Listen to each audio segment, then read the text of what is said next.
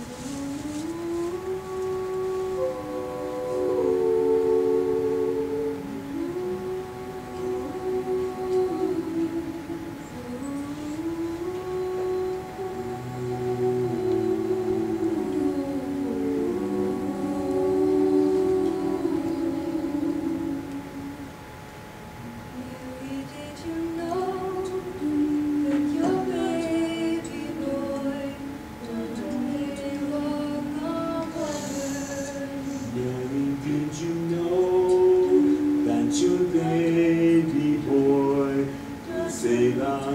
sons and daughters, did you know?